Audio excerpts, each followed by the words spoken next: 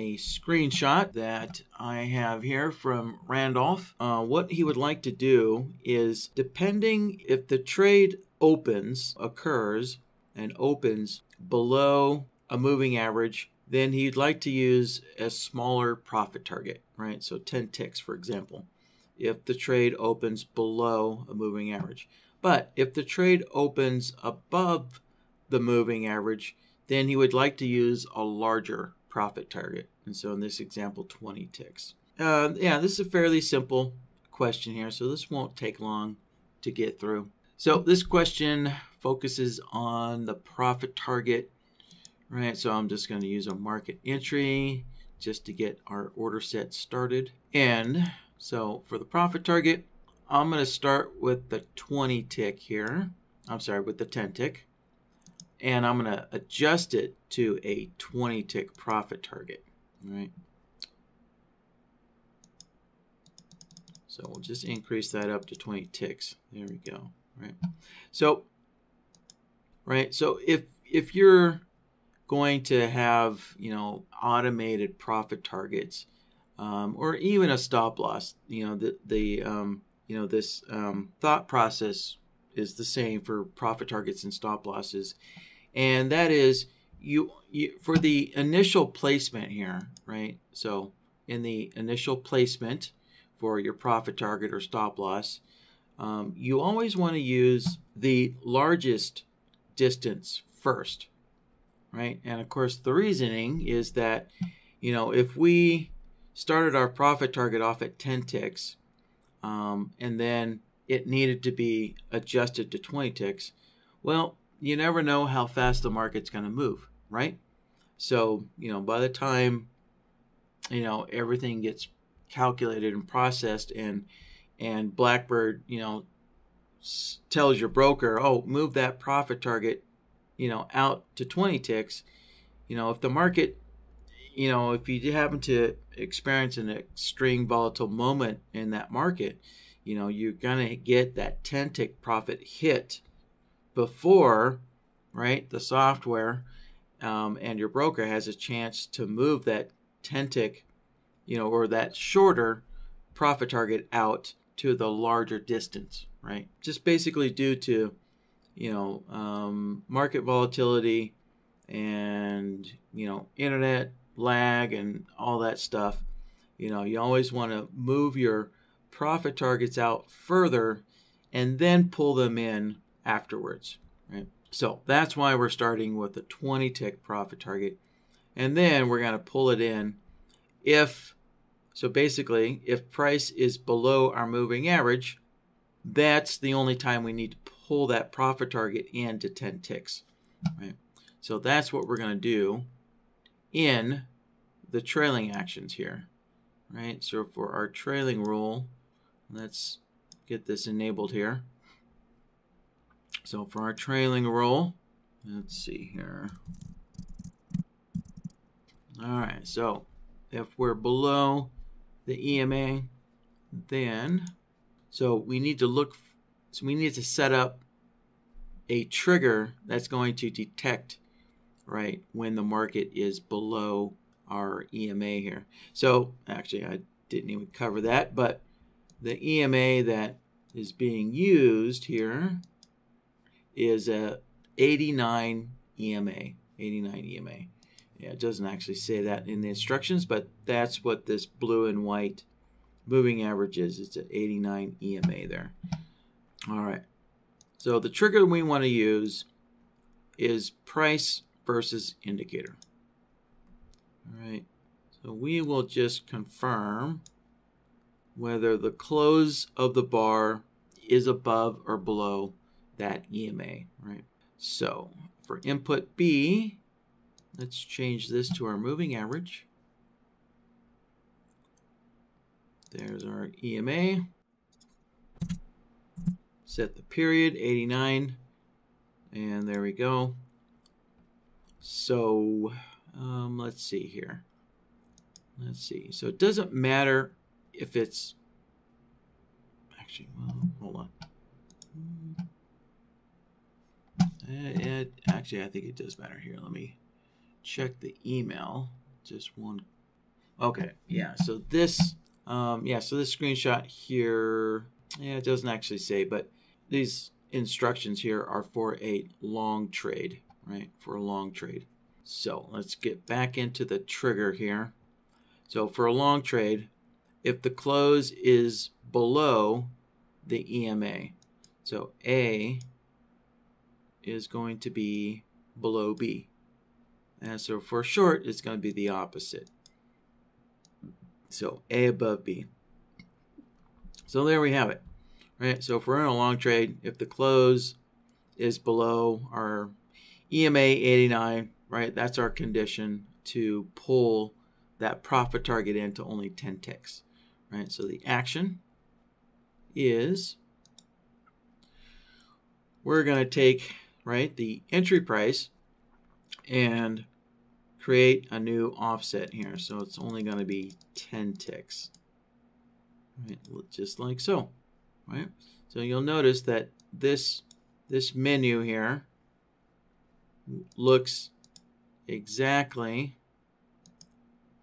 the same as our initial placement here, right? So our initial placement menu also, uh, right, the mode is set to price, right? The and it's the entry price. So we're taking the entry price and offsetting 20 ticks.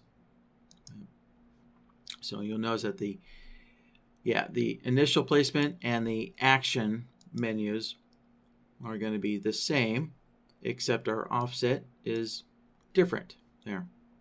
So, all right. Now, one thing we need to figure out here is with this trailing rule here, is that let's say the trade occurs just below our moving average, right? And so 10 ticks or 20 ticks or 10 ticks, right, would be, um, well, actually, I guess, yeah, the only thing that would matter is that our 10 tick profit target is just, you know, is going to be above the moving average. So what would happen is that if price, you know, as price moves up to try and hit our profit target, well, then the close is going to go above the moving average, and then that would push that profit target from 10 ticks um, to 20 ticks. Actually, no, it will not. I stand corrected. The opposite would happen. Sorry, the opposite would happen. Yeah. So if our trade occurred above the moving average, then it's going to be set to 20 ticks. But if price goes against the trade, right? Price moves down and goes against the trade. Then once price goes below the moving average, then that profit target is going to be pulled in to a 10 tick profit target. All right, so just keep that in mind. And that actually probably, um, uh, let's see, Randolph didn't mention anything about that, but that's maybe that's a good thing. You know, if, yeah, so if the trade goes against you and it goes below that moving average, yeah, maybe you might want to take, you know, a smaller profit target to try and get something out of the trade instead of, you know, taking a loss. So that might be a good thing here. But yeah, so keep that in mind here that the way that this is the way that the triggers are set up right now that if you know the market closes below the moving average at any time that it will pull that profit target in to a 10 tick profit target. So now if we wanted to we could prevent that from happening right? So we could lock that we could lock that profit target in as a 20 tick. And only do this comparison here only once only one time here. We could we could do that um, as long as you're using um, trade signals. Right. Only that that could only occur if you're using trade signals here um, so what we, yeah, so if you're using a bloodhound signal, then we could basically prevent this trailing rule from ever executing except on this on the the bar that you know that the order executed on right? So for example here let me let me click ok here. So you know let's say we get a long signal there. All right so a profit target is going to be approximately up there. So let's get this back open there. Right so again i guess yeah let me just kind of rephrase everything here. Right so with with just this one single trigger price versus indicator right blackbird's always comparing this trigger here. It's always evaluating this trigger here.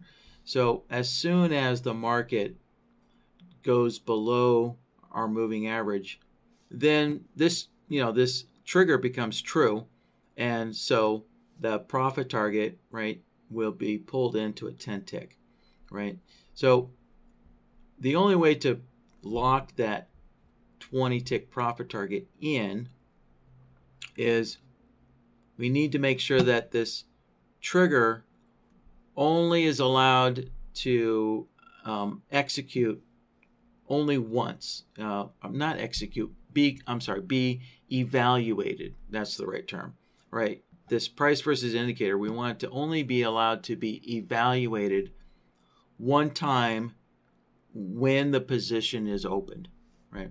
That's how we can prevent this price versus indicator from constantly being evaluated on each bar as each bar closes, right?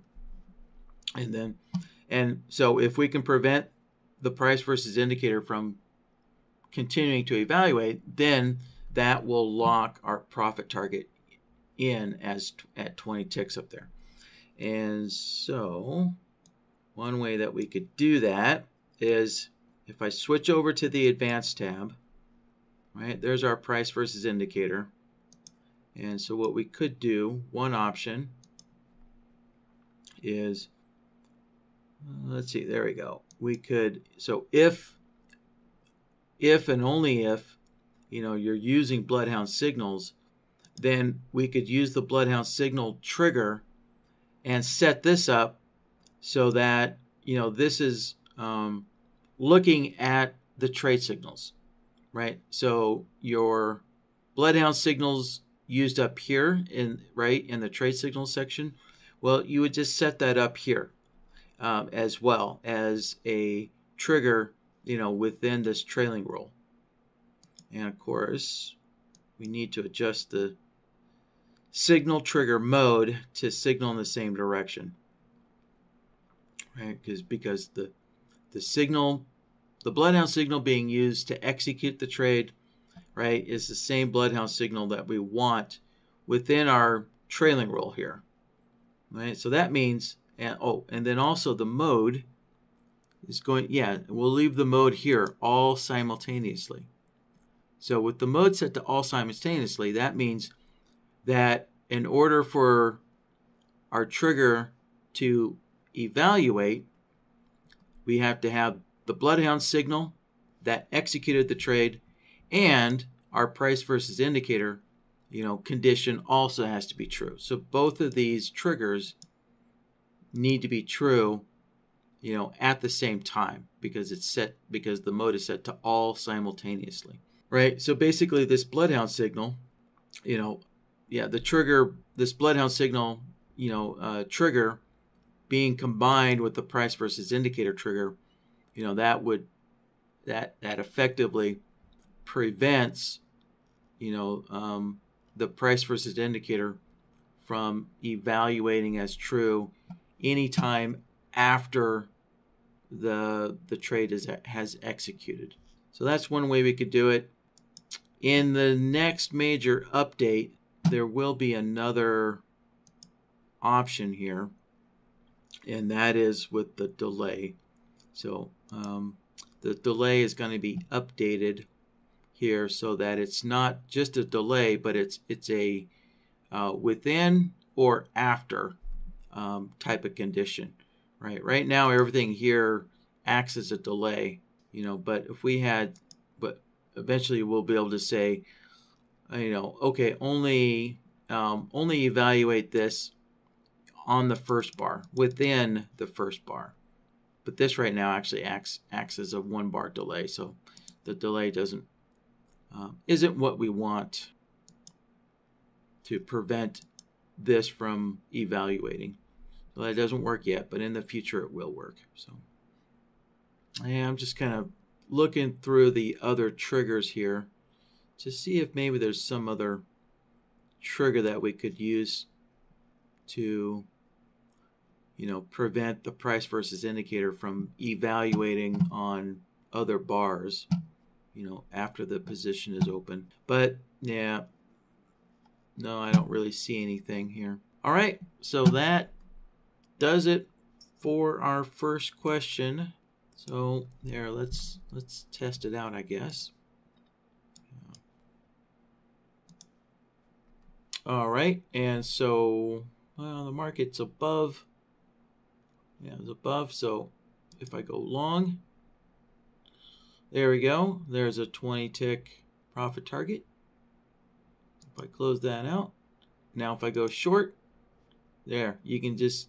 Hopefully you guys saw that our profit target went in as a 20 tick and then it got pulled in to a 10 tick. I'll do that one more time. So, boom, 20 tick, and then it got pulled in to 10 ticks for that short trade. So there we have it.